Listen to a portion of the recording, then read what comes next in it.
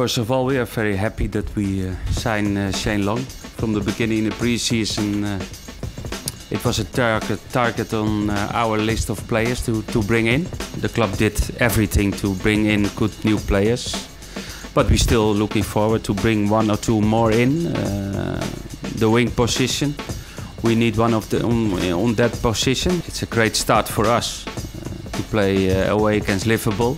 If you look to the to the squad of Liverpool, they, they have so so much good football players and uh, I think maybe Liverpool for this season is much stronger than, than last season. I, I know what, what, what which team played uh, will play on Sunday. We don't have players to uh, to play counter-attack football. We, we have players to dominate it.